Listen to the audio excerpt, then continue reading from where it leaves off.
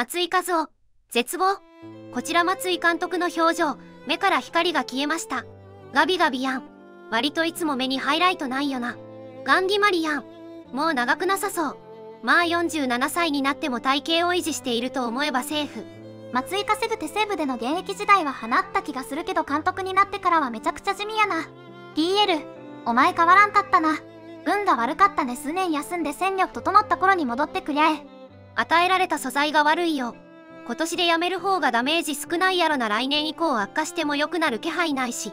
森友と山川没収されたら空勝てんよ。DL に入った頃とどっちが地獄なんやろ。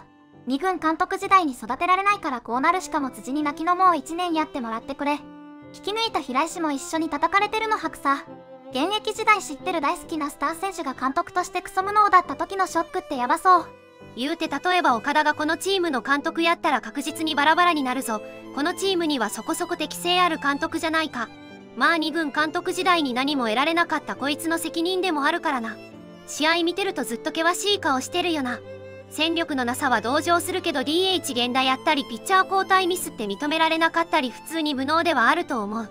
この角度で取ったらそらそうなるよと思ったけど予想以上に死んだ目だった。ご視聴ありがとうございました。